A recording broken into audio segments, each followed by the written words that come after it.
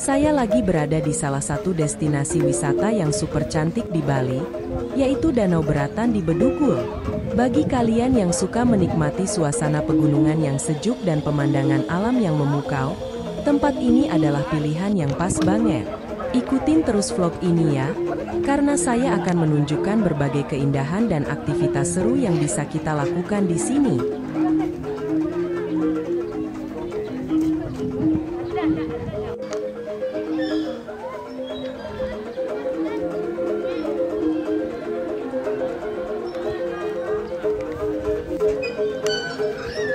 Di sekitar Danau Beratan ini, ada taman yang indah banget.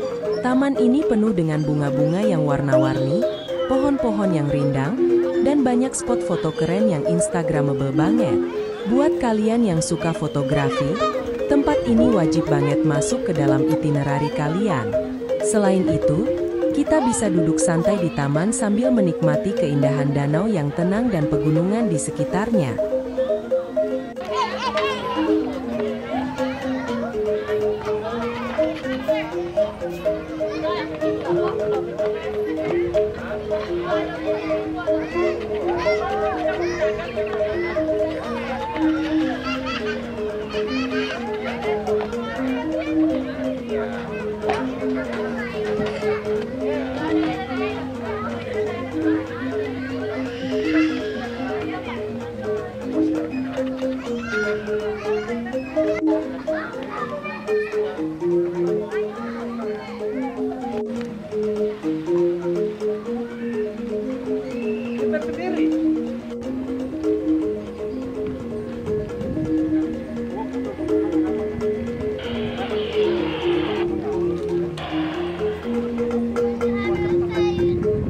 Beratan ini dikelilingi oleh perbukitan hijau dan udara yang sejuk banget.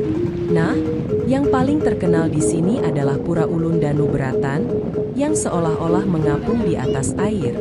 Lihat deh, teman-teman, betapa cantiknya pura ini. Pemandangan ini benar-benar ikonik dan gak boleh dilewatkan kalau kalian main ke sini. Pura ini merupakan salah satu simbol dari Bali dan menjadi tempat peribadatan umat Hindu.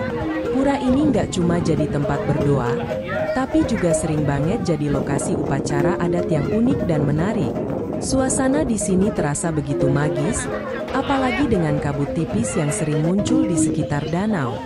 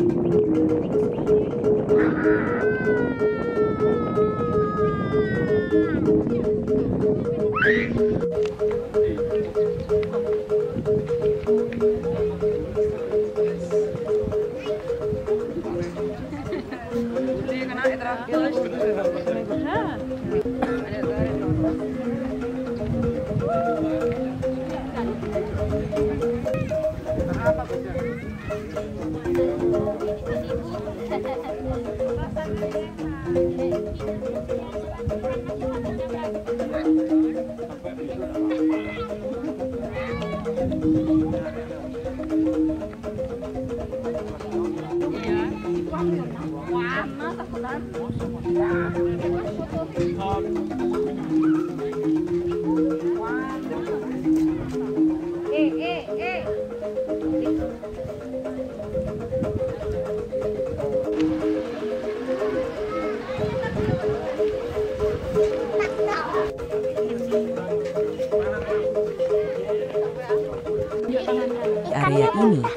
setiap sudut di sini kaya akan sentuhan budaya Bali yang membuat tempat ini semakin menarik. Rasanya seperti kita sedang berjalan di tengah-tengah karya seni yang hidup.